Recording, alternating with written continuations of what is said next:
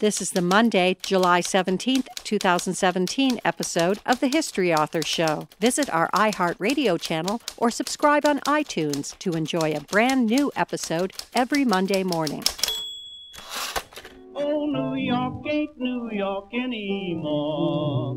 How I miss those old pals of mine. The sawdust is gone from the floor where we harmonize sweet Adeline on the east side, west side. Things ain't like before. There are tears in the eyes of the regular guys. Oh, New York ain't New York anymore.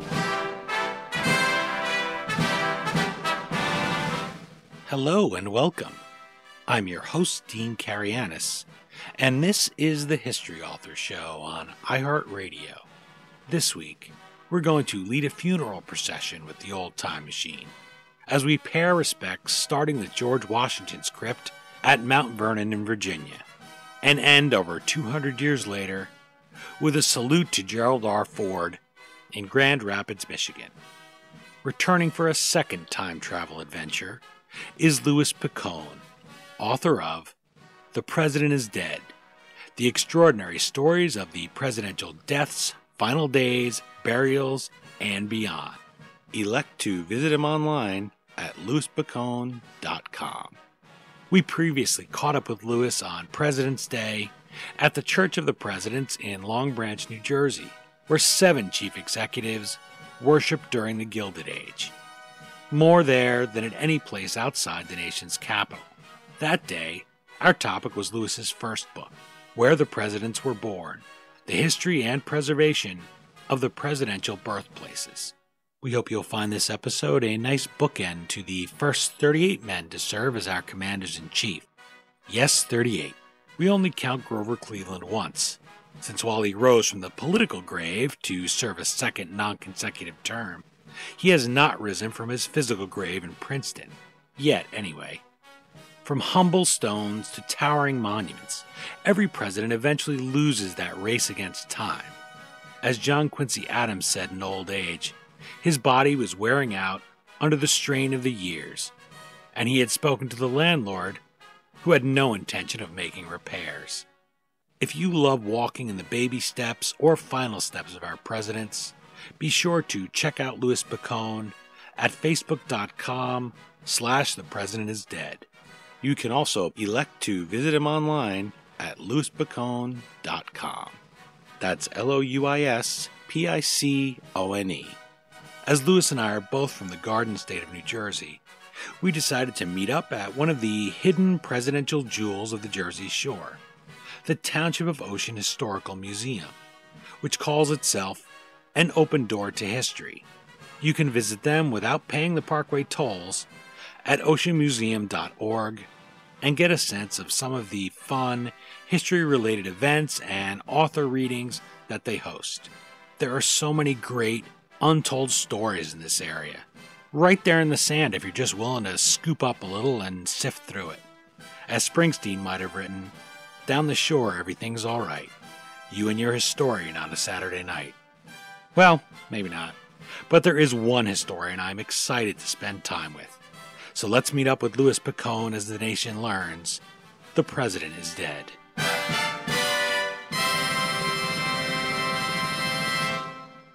I'm in Ocean, New Jersey at the Township of Ocean Historical Museum. I'm looking at the timeline of the building. John Woolley bought these originally 500 acres in 1697 in 1747, his grandson Thomas Woolley Jr. built what would become the east wing of the property. It's been expanded in what 1835 here. I'm looking at a bunch of the timelines leading up to the current day. In 1999, the Township acquired this building. Didn't cost taxpayers anything, they are proud to say. And now today you can come and enjoy it. There's a ton of artifacts here. Our return author, Louis Picone, author of the President is Dead. The extraordinary stories of the presidential deaths, final days, burials, and beyond. Thank you for making time to meet up with the History Author Show, Louis. Oh, thank you very much, Dean. Thanks for having me back. We're in a great spot here with so much presidential history all around us. I was looking at some of the books over there, and I joked with you that I didn't have the one on Garrett Hobart, and I said I had the little devil on my shoulder say, you know, slip it in your bag, take it, nobody will know. And I said, I think they'll know. You know, the angel on the other shoulder saying, stupid, how many people do you think come through here and want to grab any of the presidential memorabilia? Grant, all of these local presidents, not local born, but local that they certainly vacationed, passed through, lived here. Woodrow Wilson, I'm looking at things about FDR, New York's own, just so many things, little replica of this lovely house. And so we're really surrounded by history right now, and I'm fortunate to be across from a historian that loves presidents. So, Louis, have at it. Why should readers pick up The President is Dead? Well, thank you so much again. In my book, The President is Dead, I wrote about the final days of the presidents, their deaths, their burials, and like I said, and beyond. And it's a very underexplored area of the presidency. I've read a ton of presidential books, and sometimes I get a little bit disappointed that they kind of wrap up that final chapter of their lives so quickly.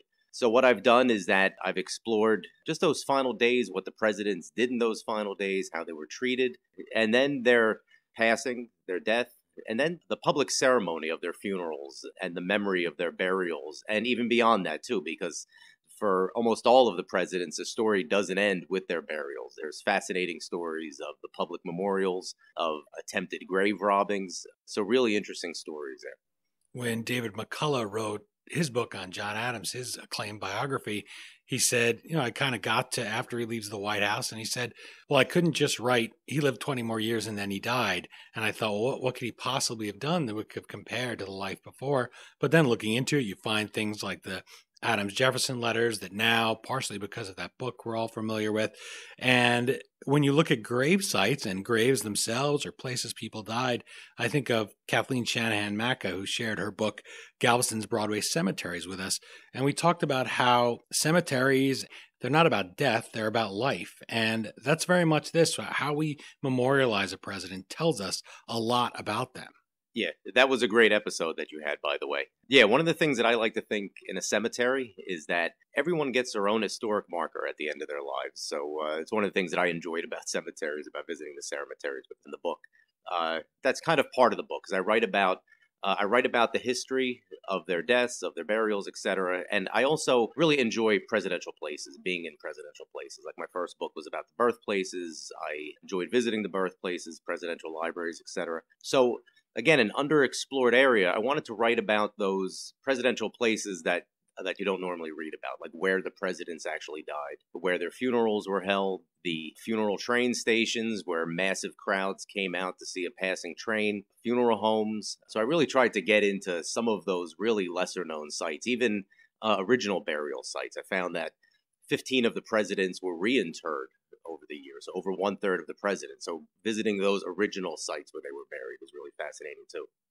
Often, when they needed time to build an actual mausoleum, or we're talking going back to you know the turn of the 1800s there eh, you'd have to wait for the ground to thaw frankly if you were going to be put into the ground right one thing about the place a president dies or gets sick is unlike the birthplaces where you write that the place where a president was born only became historic in the rearview mirror that's set apart from a place where somebody who's been a chief executive, like an FDR or a Lincoln or Garfield or Franklin Pierce, Nixon. It says something about what their presidency was and how loved they were when they build a monument like to McKinley, like to Garfield. You know, it's massive. And you say, these people love this man. You know, you say, we must have had some story. And of course, they both did with the assassinations.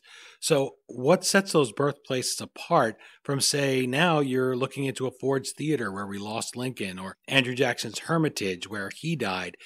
Some of your trips overlapped, I'm sure, so I wonder how the research differed on that score. Now you're no longer digging into those sometimes obscure birthplaces, no longer Rutherford B. Hayes, where his birthplace now is gas station stands in its place. You're looking at places that, for the most part, they're marked. You know, there's many more places that are remembered. It's it's very different, I imagine, researching where the presidents were born versus the president is dead. Yeah, the first big difference is that in the birthplaces book, for so many of the presidents, there was such scant information that I had to work with. And that was part of the fun, is just digging so deep to find that information. Just before we get into the places, with the presidents, with their death and with their funerals, there's so much uh, an abundance of information for many of them. For some of the earlier ones, there's not, but many like Lincoln and Kennedy, obviously, there's just so much information. Uh, and for the recent presidents, so one of the challenges in just researching and writing the book was taking all that information and determining what really helped the narrative of the story and what details were important to put in there because there was a lot of details with the president's death and with the funerals for some of the presidents. With visiting the sites, one major difference is that I tried to write the book in remembrance that these are sites where people died, the presidents, we look up to them as icons, but they were people too. So I tried to keep that in mind as I was writing the stories of their deaths and with the places, I also kept that in mind that not a happy birth happened here, but this was a solemn passing that had happened here. But also, just like the birthplaces, with some of the sites where the presidents have died, there's some interesting, really interesting, quirky stories there too. Like uh, there's a house where James Monroe died in downtown Manhattan. There was preservationists that tried to save the home for years, and then eventually they turned into almost like hobos were living in the home. It was falling apart. A last ditch effort. They tried to move the home to another site. Realized that the slot they were moving it into was a couple inches smaller than the actual house, and it kind of caved in on itself as they moved in the house. They buttressed it with cables for several years, and then it ended up falling apart. So the site now where James Monroe died in downtown Manhattan, I think it's on Prince Street, it's a clothing store. So there's, even though I'm writing about this, a lot of the places that I write about uh, also have just those weird, interesting stories.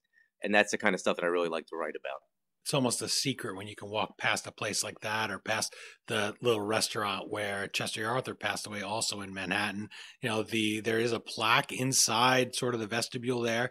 And I mentioned to you that the historic association that put that plaque up doesn't even exist anymore. Yeah. So you could walk right by those places a million times and never know because many of these men were just men. They weren't looking to have a big monument. And often you don't know who history is going to love or appreciate until after they're gone. You know, you wouldn't have thought when McKinley died and they built this towering monument with, you know, supposed to look like the hilt of a sword and a reflecting pool in front that was supposed to be the blade. And you wouldn't have thought that in a hundred years that he would be uh, among the more forgotten presidents, among the lesser known presidents. You can try to fight and try to make sure how you're remembered in history comes out the way you want it as a president. But last wishes aren't always respected, even for presidents.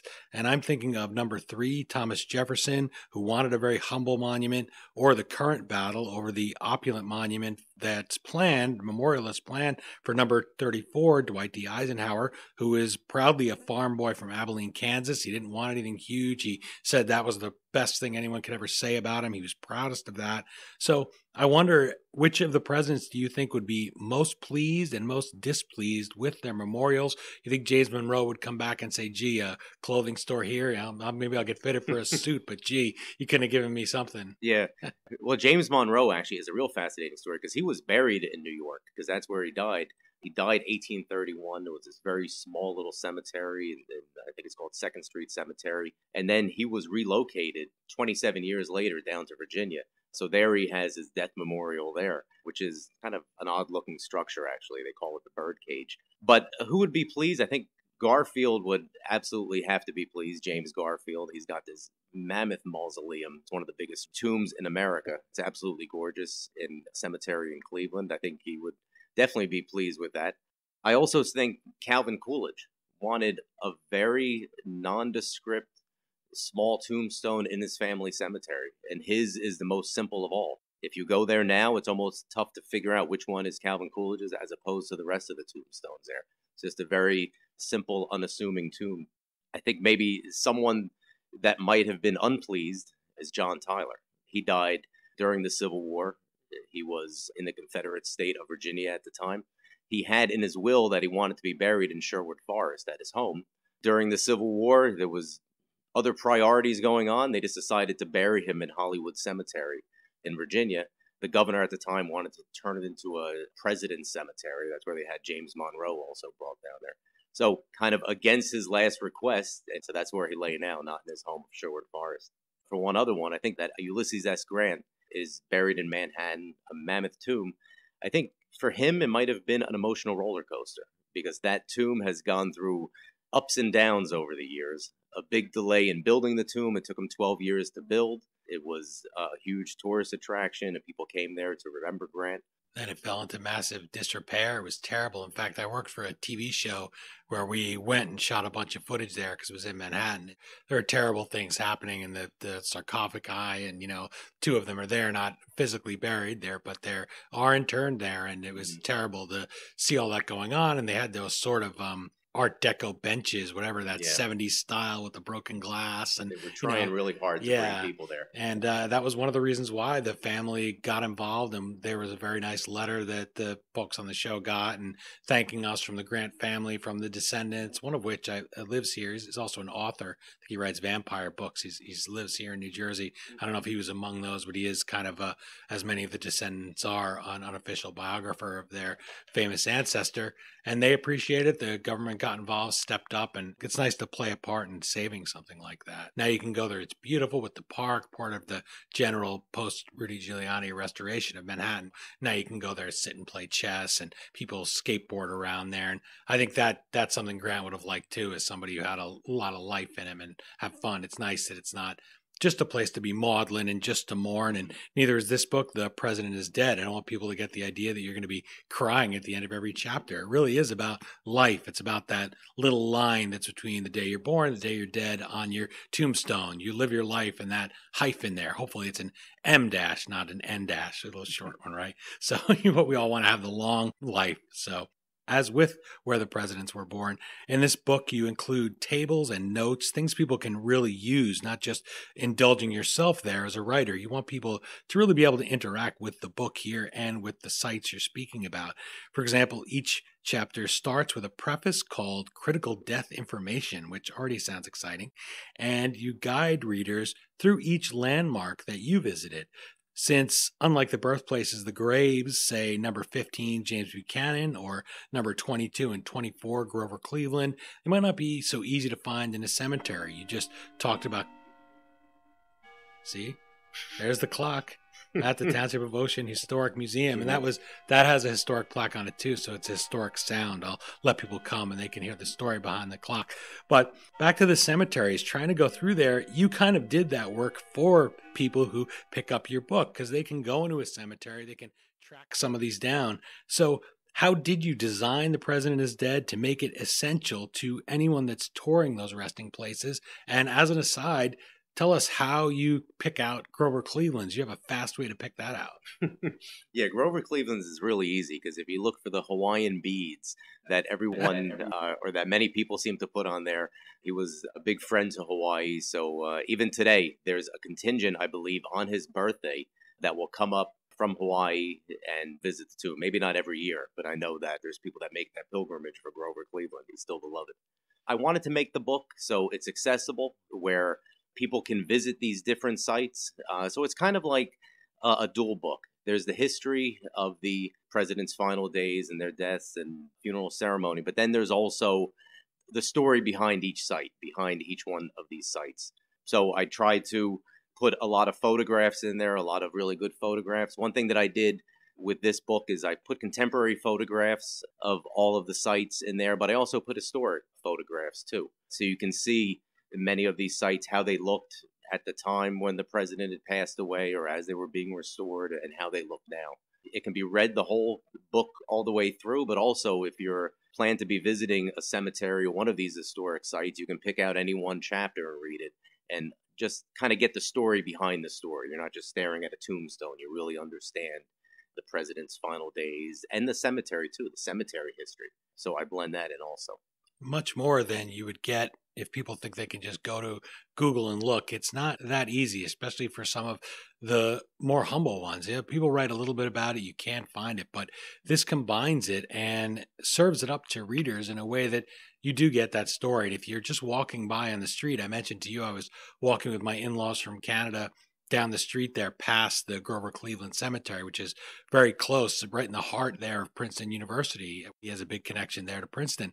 And I saw it from the back and I said, Oh, that's Grover Cleveland's headstone. And it's far away from the road. But, you know, unless you are crazy, President crazy like you and I, Louis, then, you know, you're not going to recognize it just passing and know the history that's right in front of you.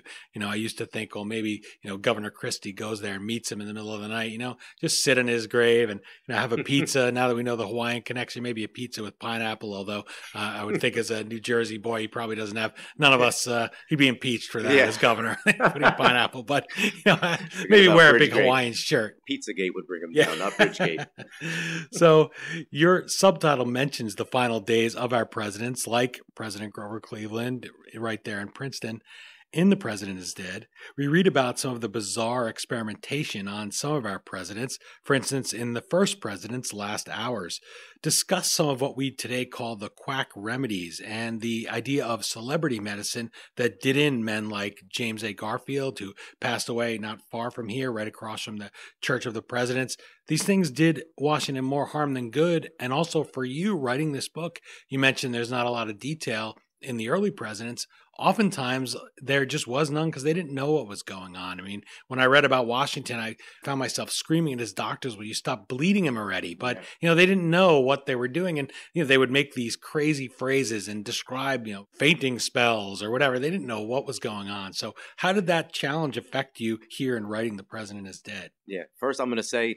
I have to exonerate Washington's doctors a little bit because Washington was asking to be bled. and when uh, uh, uh, and he first okay called the first person that he called was a man named Rawlins who would care for the slaves in Mount Vernon because he didn't want to bother the doctors. And he told him he held out his arm. He said, "Take blood." So I think Rawlins was hesitant. So Washington even said, "Take more blood." So it's astounding because then doctors did come, and they bled him, and then other doctors came and they bled him. In the end, uh, 82 ounces of blood were taken from George Washington. I like sometimes when I do talks, I'll bring like a two liter bottle of Pepsi and I'll put it down. And uh, and there's even more blood that was taken than that two liter bottle of wow. Pepsi. But it's a pretty graphic example to plop that on the table. So up until Zachary Taylor died in 1850, bleeding was a regular method that they used for treating the presidents. Also, cupping was uh, another one. There was a lot of like these medieval blistering and cupping and bleeding. These like medieval that seem medieval today. At the time, they were the best medical practices. But it's interesting now. The Olympians seem to be using cupping again. Yeah, you know, it's kind of coming back. Yeah, making a comeback. Maybe there was something to it. And also with Garfield. I mean, Garfield lost like a staggering uh, amount of weight. Uh, I mean, some reports put it as like 130 pounds that he lost. Went from over 200 pounds to below 100 pounds by the end. And one of the things that they did, or that the doctor did, was give him enemas for like eight days. The only way he was fed was uh, was he was fed rectally.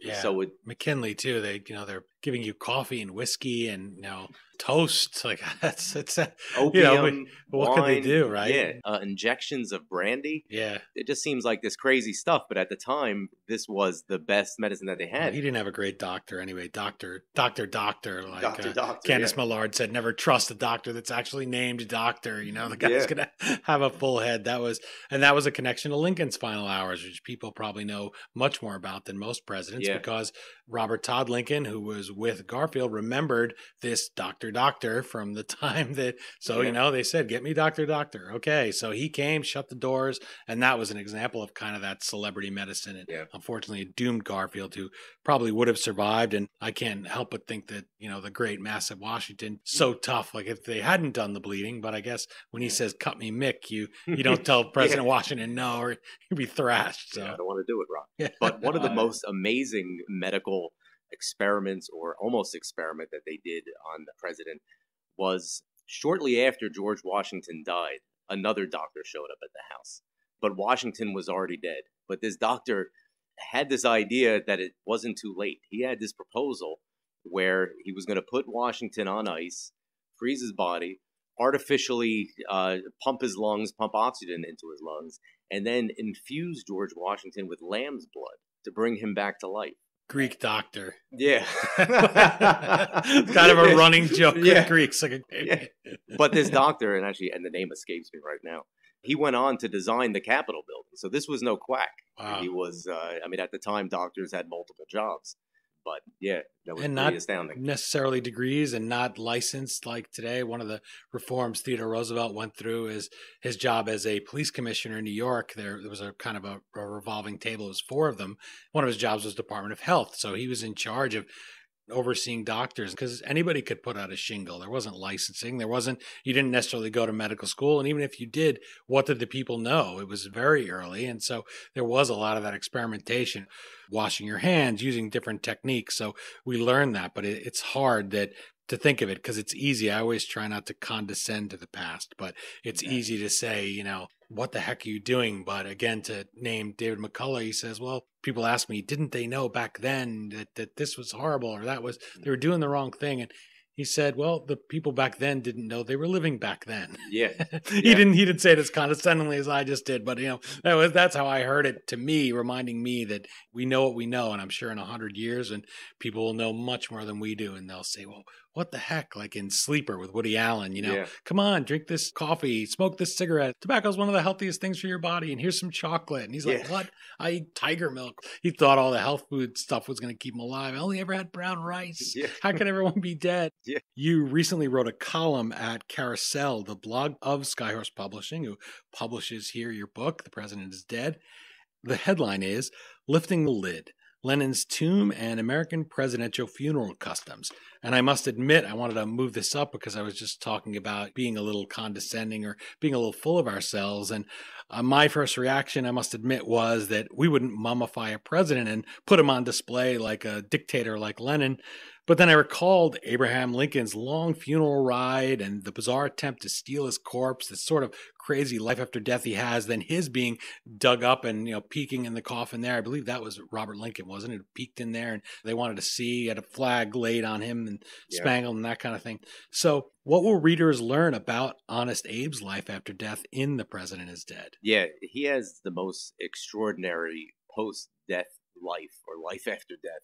When he was killed in 1865, embalming had just become a practice during the Civil War. So he was the first president that was embalmed. Another innovation there. Yep, yep. Uh, also, through the book, I try to blend in a lot of these innovations of medical practices and funeral practices, etc. So the public was so shocked. He was so beloved in the North, where the planners of his funeral decided to retrace the train ride that he took when he became president, where he went from Springfield out to Washington, D.C., took a 1,700 mile train ride, stopped in cities along the way to do speeches. So they wanted to recreate that in reverse. But what they did is that every city they'd get to, they'd have this grand ceremony, this huge funeral procession where they'd bring Lincoln's coffin to either the state hall or to a prominent building. They'd open up the coffin lid and mourners would pass by. At Independence Hall in Philadelphia, hundreds of thousands of people marched by throughout the night. So for 1920 days, this ceremony went on, and the embalmers went on the train ride. So they'd have to work on the corpse in between, and people would come in kicking up dirt. They'd have to dust off the features as the face started to slacken. They'd need to adjust. So when I wrote that blog, and the reason that I wrote that blog post about Lenin's tomb and the burial customs was that I was really extremely fortunate. I was invited to a conference in Russia, which was about the presidents and Russian rulers. So I was one of the presidential historians that spoke there. There was a tour planned, but Lenin's tomb wasn't part of the tour. So that's something just being interested in death sites that I wanted to visit. Uh, I was there, I started to think about the differences. Obviously, it's a chasm of differences. We don't put our leaders on display and embalm them for 80 years later. But I did think about Lincoln and the post funeral ceremony and many other presidents also, where we've had those open casket funerals just for that desire to see them one last time. And newspapers used to be extremely vivid about the descriptions. Some of them were usually very peaceful and serene. But then with Garfield losing all that weight And then they even had just a big problem making his funeral mask where they said splotches of plaster were on his face or, or his death mask. So the first people that saw him were shocked. People were saying that can't be Garfield. You got all of the lost weight and just he became so shriveled going through this horrible elongated death. So what I did is that I traced our open casket funeral customs of the presidency into current days, which we don't do anymore. Even when Kennedy was shot, that horrible shooting where his just his body was decimated, the embalmers were planning that this might be open casket. So they spent many, many hours working uh, on the body of President Kennedy in consideration that this might be open casket. It wasn't, thankfully, and then no president since then have even been considered. That's interesting, especially like you said, you know, when you're going to have a wound like that. I mean, that's that's a president. Uh, the none of the other ones like were instant that were assassinated, but Lincoln, you know, for all practical purposes, it was, but he did linger there for a yeah. while until he passed away. And no, he belonged to the ages, and you kind of had a chance, even though it wasn't much, it was a chance for the news to spread, and not not quite as jarring. I can't imagine wanting to see it. In fact, I've noticed that if you do look online, they have some pictures of the autopsy and that kind of thing. And I think do we really need to have those. I've worked with one of uh, RFK's sons, and I say, you know, I think of him and I think, you know, he doesn't need to be Googling and seeing that. And certainly at the time, John F. Kennedy Jr. and stuff, we don't need to see our presidents in that state. And unfortunately, we didn't have photography for a, lot of them and seeing things. There is one of Lincoln in his casket, of course, but that's it. Yeah, there was actually many taken, but Secretary of War Stanton ordered that all of them be destroyed. So that one was turned into him to destroy. For some reason, unbeknownst to history, that was one photograph that he saved. And then some doing archival work, I think like 50, 60 years ago, happened to come across it inside of a book. Uh, and that was the story of that photo, which was in City Hall in New York. My guest is presidential historian Louis Picone, and we're joining you from the Township of Ocean Historical Museum in Ocean, New Jersey, which you can visit at oceanmuseum.org. Or next time you come down the shore, you can check it out. You'll find some intriguing historical and presidential artifacts here. Great pot bellied stove in the back, Ulysses S. Grant's chair, and right behind me, where I'm sitting now, the American flag that lay on President James A. Garfield's casket. As we've mentioned a few times here in our episodes on this particular area, this is where President Garfield came for that unfortunately agonizing death that Louis was just talking about, and the failure of his doctors, the infection, the probing with the dirty fingers, all those things that he suffered after his short presidency. He finally succumbed to the assassin's bullets, and that was one of these cases where he has a funeral train, he leaves here, and McKinley, having been assassinated. Veterans of both sides of the Civil War, McKinley being our last Civil War president, standing on the side of the tracks and saluting them. It's a very poignant moment in history, and it's nice we can see things like the flags. There are also flags from some of these temporary resting places that you talked about, Louis, aren't there? That must be nice for you to be able to find those, I would think, along your travels. Yeah, yeah. It amazes me how many of the presidents doing my research how many of the presidents were moved over time like lincoln there was two temporary tombs for lincoln and the slab, the concrete slab that the coffin was placed on uh, originally before he was moved from one temporary vault to the next temporary vault, that's been preserved. Do they still use that? Is that the one they sometimes use for state funerals? Yeah, or no, they the don't Kennedy use that one, one anymore. One. I don't think when so. you lie in state, there, there's something about the oh. one that when you lie in state. That's, right. that's the catafalque. Uh, yeah, that one was built for Lincoln, this pine tar podium where they placed the coffin, and that has been used over the years and they still have that. It's in the basement of the Capitol building, which is uh, another interesting twist because when they built the Capitol building, they built a crypt in the basement that was intended to be for George Washington. They wanted to relocate George Washington's remains from Mount Vernon. So there was a lot of back and forth family whether they were going to agree to it or not. Eventually, they decided to leave Washington where he is at Mount Vernon. But you can still see this Washington crypt. It's not part of the tour, but I asked if I can go see it, and they were nice enough to take me there. Uh, and you can see that catafalque in the crypt, the Lincoln catafalque in the Washington crypt. The Garfield cottage stood across from the Church of the Presidents in Long Branch, where seven of our presidents vacationed. Only in your state wrote that there's no chapel in the world like it, in part because it is the place more presidents worship than any outside our nation's capital. For more on that historic site, surf over to churchofthepresidents.org. And while you're online, check out Louis Picone at facebook.com slash the president is dead. You can also pick up a plethora of presidential Picone at louispicone.com. Our topic this week is Louis's book, The President is Dead The Extraordinary Stories of Presidential Deaths, Final Days, Burials, and Beyond. A commenter on Goodreads Review wrote of your book, Lewis, quote, one unique aspect which adds the flow of history to the book is the decision of the author to place the president's stories in the sequence of their passings, rather than a straight order in which they serve. By doing so, it provides some surprises for the reader. For instance, that the first president to die after FDR was JFK nearly 20 years later, unquote. Louis, let's talk about that format a little. There are periods in history where we have had no living ex presidents, and, and other times when we go for great stretches without a funeral. I remember Nixon, it was in 1994. We hadn't had one in so long. We hadn't had one since Truman, I guess, was it? Since LBJ. Okay, LBJ. Truman, yeah. So that's a long time. That's 20 some years. I think it was 21 years. The longest stretch was between Washington and Adams and Jefferson. So that was 26 years. That was the longest stretch. We haven't matched that yet. It's interesting. I was just doing uh, last year, I realized that we had just passed the longest stretch where a president hadn't died in office. It was like, I think, last October. So between Kennedy and today, the longest other stretch, I believe, was when William Henry Harrison was the first president to die. So we just passed that period of 50 some odd years. So right now we're riding that. and hopefully we do for many, many yeah. more years. When a president is slain, it's happened four times in our history or dies in office like Harrison. But as far as the ones that were murdered, there's this outpouring of grief. And I wanted to ask about that. What do those historical markers for Lincoln, Garfield, McKinley, and Kennedy, those are numbers 16, 20, 25, and 35, what do they do right in your view to memorialize them? And what would you change about them with your view now? I mean, if we are unfortunate again to have a tragedy like that again, what do you think people get right and wrong when they act in the moment as far as the historian's point of view? How how best to memorialize these men that we lose tragically? Yeah, I mean, one thing that I found about death, it's not that surprising, but it's a taboo subject on many of these markers. Like, eh, there's a marker at the site where Chester Arthur died, the home where he died, and there's no mention that he died there.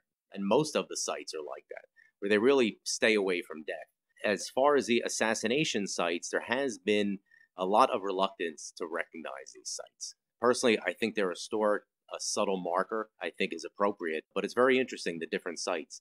At Lincoln's site where he was assassinated, Ford's Theater, I mean, that was a business, that was a theater, and the theater owners, uh, originally, they were thought to be involved in the plot.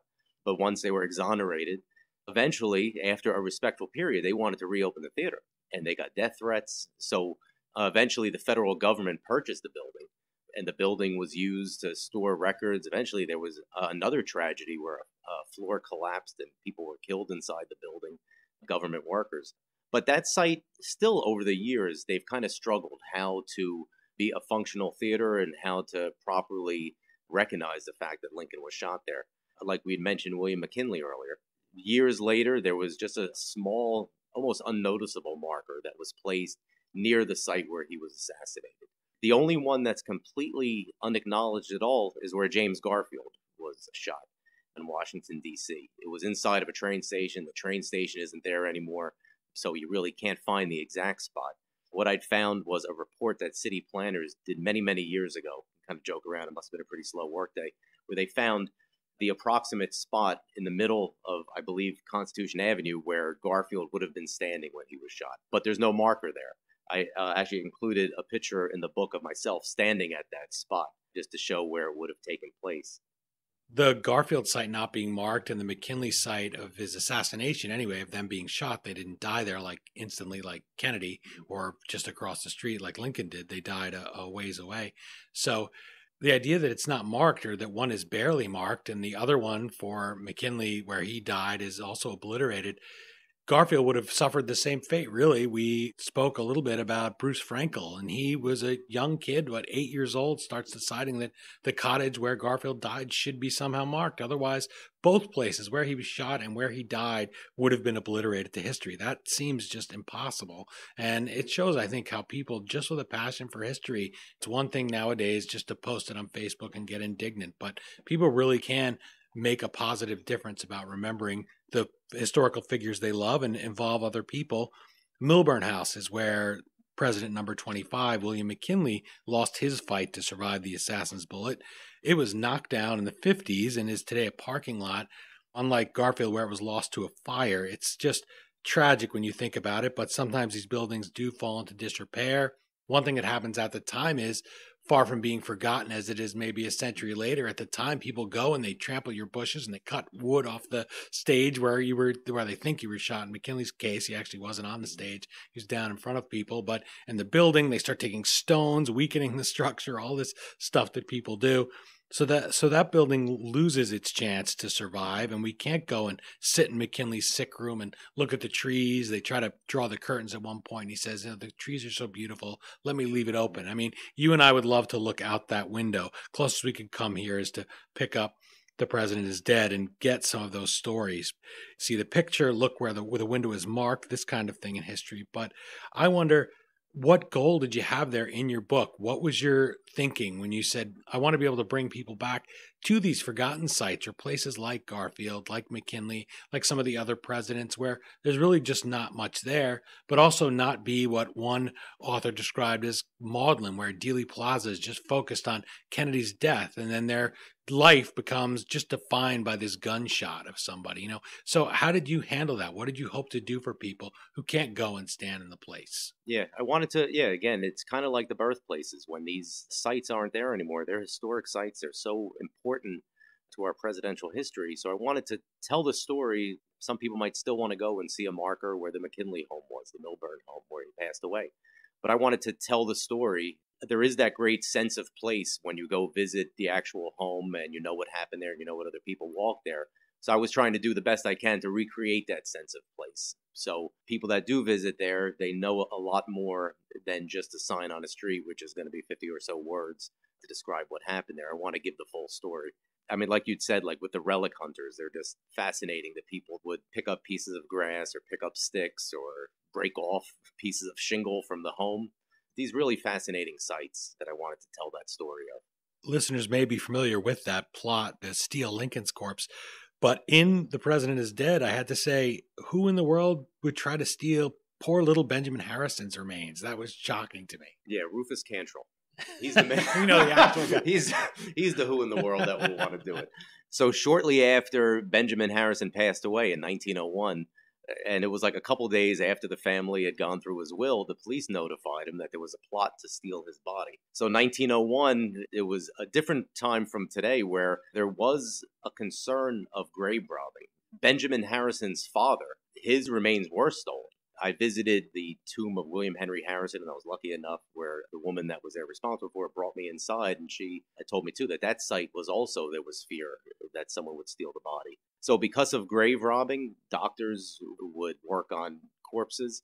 So there was a fear of grave robbings. With the presidential layer on it, with Lincoln, there was a plot to steal his body and then hold it for ransom. It was a gang in Chicago where their ace counterfeiter was put in jail. So they came up with this crazy plan of stealing Lincoln's body and then exchanging it to release Benjamin Boyd was his name to release Benjamin Boyd and we'll give you back Lincoln's body. Was there liquor involved? Yeah, I'm sure there was. you know, they plotted it at a bar in Chicago. Ah, yeah. so. but with Benjamin Harrison, Rufus Cantrell, his plot was he was going to make it look like people had stole the body for medical use. He was going to steal the body of Benjamin Harrison, put it in a doctor's office, and then when the inevitable outcry came and they were looking for the body and offered a reward, then he'd stand up, say, "I found the body in the doctor's office. Where's my reward?" So that was his plot. And actually, there was attempts to also rob Andrew Jackson's grave too. It was one morning where they came out and they saw there was a hole dug, and I don't think that they ever found that perpetrator. Yeah, well, with Paul Kahan, we were talking about his book, The Bank War, about Jackson, and one of his top three fears is Zombie Jackson. So I can't imagine it would be like one of those old Twilight Zones. There was one with Lee Van Cleef, and he thinks the hand reaches out of the grave and grabs him. You know, Yeah. old Hickory probably dragged. You said they didn't find the perpetrator. Look in the grave. He probably reached up, grabbed the guy, pulled him down there. He's Uh, roasting right now. The old Yeah. Hickory loved nothing better than to shoot or beat up somebody. So there you go. Uh, interesting story about Zombie Jackson. So he was on his deathbed. He was surrounded by his family, what they used to call a good death back in the Victorian era. You're able to say your final farewells to everyone and tie up your loose ends, and you're surrounded by loved ones when you breathe your last breath.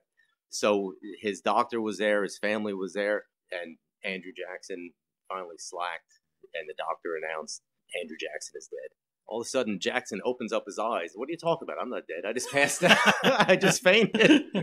and then they go on to talk about these final talks that he gave with his slaves, with his children. And they say that he spoke eloquently about religion and about the afterlife for 30 minutes.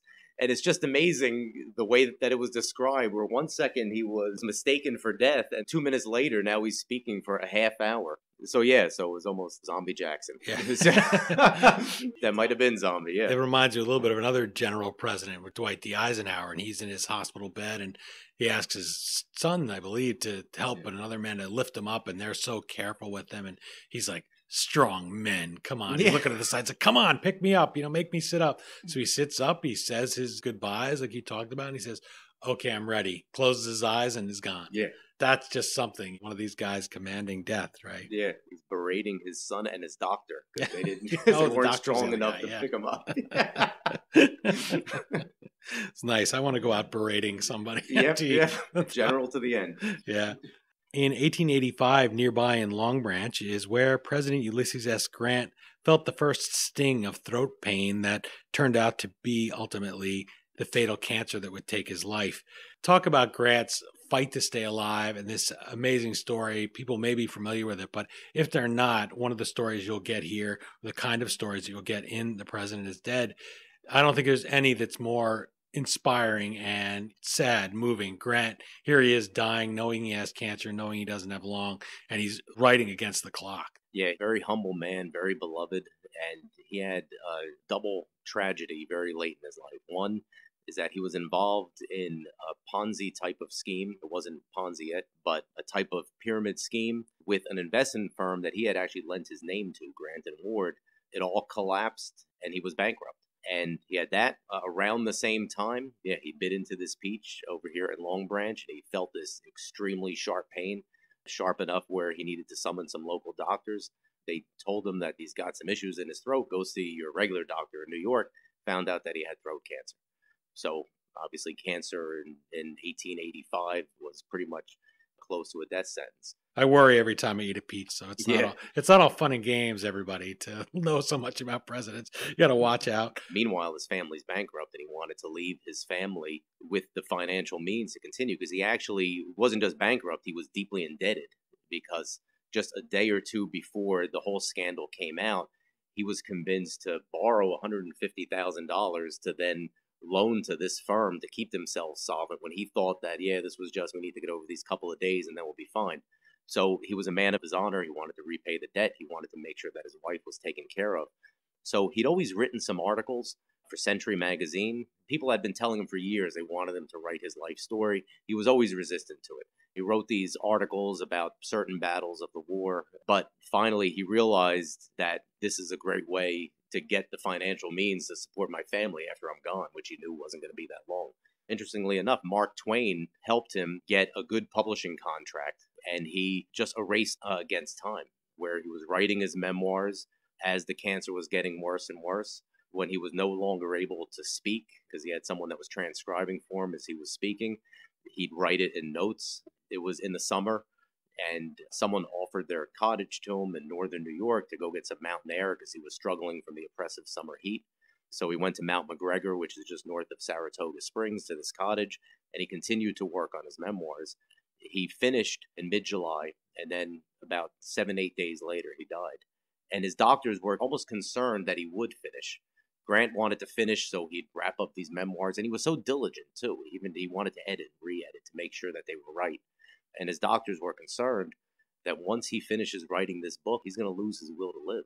And really, that's what happened. It was so shortly after finishing these memoirs that he passed away. And thankfully for the family and thankfully for us, that we have these memoirs where you see his strategy and his sense of humor and his humility and his challenges. And the family was well taken care of. It was about $450,000 that the family got to pay off the debts and then live comfortably and he dies before the book is published. Yep. And it's a kind of an interesting little historical detail there is Twain, as you mentioned, helped them publish it, and they put a print of the general's signature in the front of the books.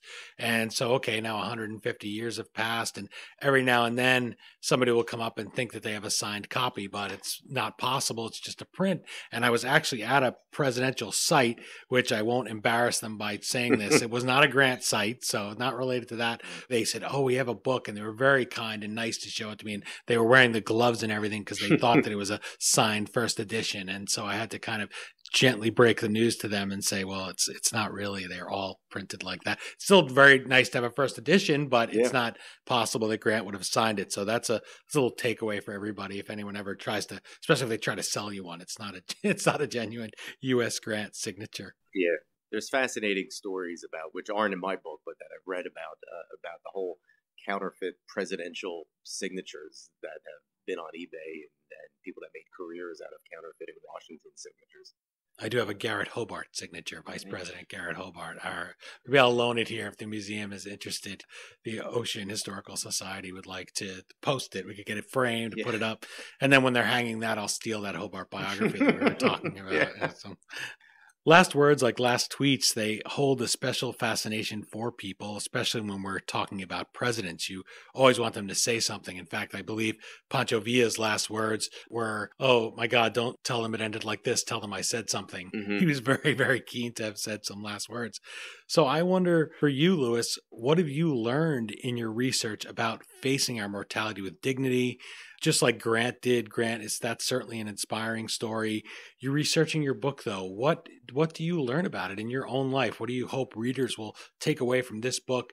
Not just about death, but we say it's a journey of life. It's an example there. How do how do you learn about facing our mortality from your research? Yeah, I think a couple of things. One is that these men, for their foibles and their faults, which we all have, I mean, most of them did tremendous things and they lived good lives. And they all seemed comfortable at the end that they'd done the best they can. Many of them did. I mean, some of them were very poetic final words. Some of them were final words that, in doing my research, I found that they weren't really the final words. Right. Uh, Jefferson, in fact, is not really right. The finals. Yeah, Jefferson and Adams, both of them, were said their final words were speaking of each other. They talked more after that. Yeah. So that's the other thing too. I found that these guys are uh, these presidents. So many are larger than life, but they were human too. And sometimes their final words were water, or I'm in pain. This hurts. Uh, yeah, screaming, unfortunately. Yeah. Yeah. FDR's, I have a tremendous headache. I have a tremendous headache. Yeah, in Warm Springs. well, we can't all go out on Millard Fillmore's The Nourishment is Palatable. I mean, now Yeah. that's memorable. Yeah. Last words. well, for our last words, I'd like to put an epitaph on our conversation today. As I always say when we meet up, Louis, we could talk all day about presidents and probably will. We'll continue this discussion via email, Twitter, your Facebook page. But I wanted to give you a chance for a final word. If you could take our time machine and put yourself at any presidential deathbed, maybe one of those that you don't know much about, which one would you learn what their last moments were about and be able to pay your respects to? One of the ones that I'd uh, I'd like to go back to, just because there was such little information about it, was Martin Van Buren's death, which probably seems strange with all of the presidents that that's the one I want to go back to.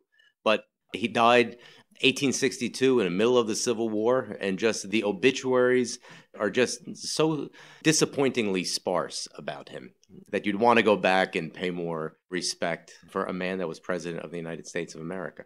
Yeah, the little magician. He is a compelling figure. It would be nice to a lot of them that died during the Civil War, during great upheaval. It's easy just to sort of for them to be forgotten. So. That's an interesting choice. I, wouldn't have picked him. I didn't really think of it. But mm-hmm. as we said, you know, a lot of the biographies did just say, okay, he was president, then he lived another X number of years, and that's it. He died. He didn't yeah. do much but just hang around Lindenwold in his case. And yeah. the road that actually does lead to Broadway leads up from Broadway to Albany. Very cool, very beautiful place in the yeah. Hudson Valley. Albany Post Road. Yeah, if folks want to go visit it, it's beautiful. Mm-hmm. So. Uh, another president that I'd like to go back and see there and be there at the moment of death is Warren G. Harding. There's been a lot of conspiracy theories and rumors over the years about what happened to Warren G. Harding. He was on a trip throughout the country. He called his uh, Journey of Understanding as he was campaigning for the 1924 election. And he got sick and died very suddenly at a hotel in San Francisco. There's been conspiracy theories that his doctor killed him, that his wife killed him. And what I found was amazing was that right away those conspiracy theories started. There was a reporter for the New York Times that the morning after the death started to realize everyone I talked to, these stories aren't quite syncing up. Whether Florence was in the room, whether she wasn't in the room, even the time of death was wildly varied. You think about like noting like the moment that he died and there was theories that the doctor was giving him like these strange medications over his illness and this was a dr sawyer that was his hometown doctor that he brought to the white house. So that's one that i'd love to go back to and be a fly on the wall on the hotel wall to see exactly what happened. But it's one of the of the really fascinating stories about the presidential deaths well, Louis Picone, thank you for joining me at the Township of Ocean Historical Museum to discuss The President is Dead. It's a stone's throw from the stone marking the spot where President Garfield passed away. So it was a great place to meet up, talk about the lives of our presidents and how we remember them after they're no longer with us. Best of luck with the book and the companion, Where the Presidents Were Born. Thank you so much, Dean. This has been a pleasure. Again, the book is the President is Dead. The extraordinary stories of the presidential deaths, final days, burials, and beyond. As always, you can find the Amazon link to purchase your copy at historyauthor.com. And we hope you will click through there, or even navigate through the Amazon banner on our homepage anytime you want to buy something from Amazon. For those few extra clicks, Amazon.com gives us a small percentage of every dollar you spend at no additional charge in your shopping cart. Once again, my thanks to Louis Picone for spending an afternoon at the Jersey Shore with us and for bringing along all those presidents. I also want to thank the Township of Ocean Historical Museum and remind you to visit louispicone.com and oceanmuseum.org for more. You can also follow their Facebook pages to keep track of the many history related events they've got shaken all year long. I follow a lot of Facebook pages, and sometimes you won't hear from them maybe for a year. These are two pages that are active, and it's always something interesting. And while you're clicking around on the internet, let us know what you think of the book and the interview on Twitter at History Dean or on our Facebook page. Well, that's it for this installment of the History Author Show. I hope you'll join us for next Monday's all new interview right here on iHeartRadio or wherever you're listening. And if you're an iTunes subscriber, please take a minute to leave us a review. Until our next trip into the past together, thanks so much for time traveling with us on the Garden State Parkway and have a great week. We still call it Broadway, but what's in a name? Take it from Georgie, it isn't the same. On the east side, west side, things ain't like before. There are tears in the eyes of the regular guys. Oh, New York ain't New York anymore.